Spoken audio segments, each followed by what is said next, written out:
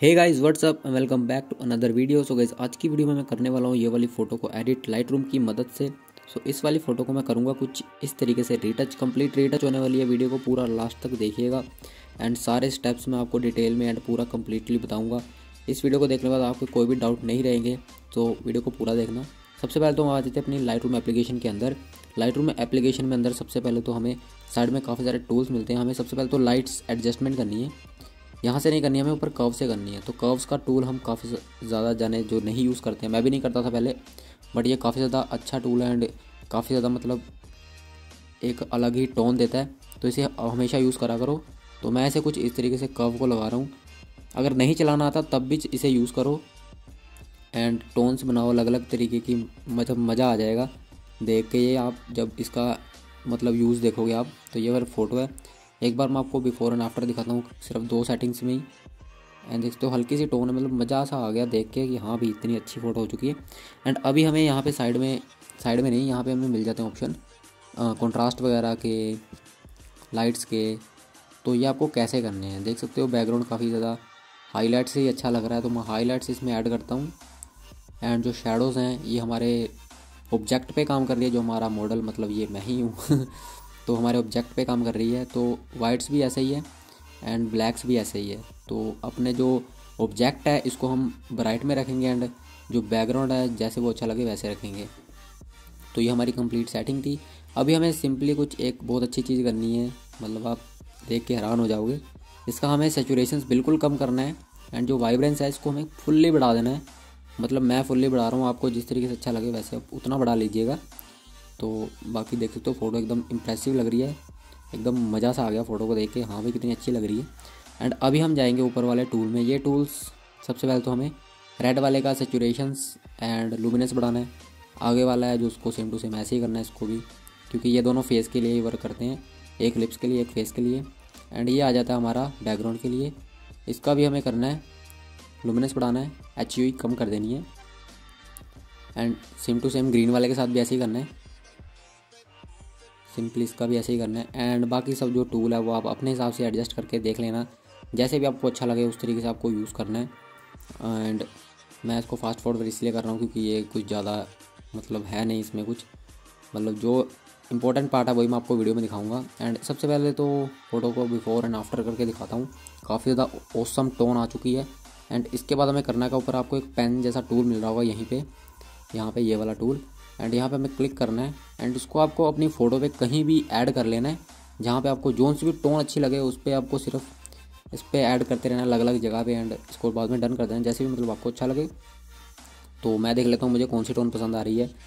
तो तो ये वाली टोन काफ़ी ज़्यादा अच्छी लग रही है काफ़ी ज़्यादा देख सकते हो मतलब एक सब, से मूडी सी ब्राउन सी एंड काफ़ी ज़्यादा इम्प्रेसिव सी लग रही है।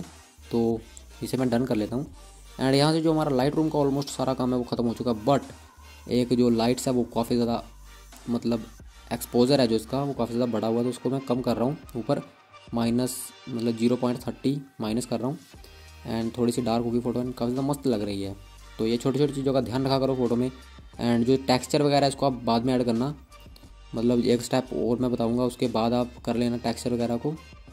एंड सिंपली अभी हम लाइट रूम से जो अपनी फ़ोटो है, उसको हम सेव कर लेते हैं अपनी गैलरी में।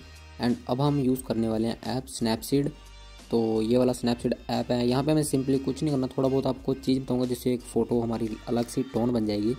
तो सबसे पहले तो साइड में हमें टूल मिलता है। यहाँ पर जाना है। एंड नीचे मैं डिस्क्रिप्शन में आपको एक पी दूँगा। सिंपल सा पीएनजी है। वो आपको पीएनजी दूँगा। एंड उसको आप डबल एक्सपोजर से ऐड कर लेना। ये वाला पीएनजी है वो। यहाँ से ऐड करने के बाद इसको आपको ऐड पे रखना है।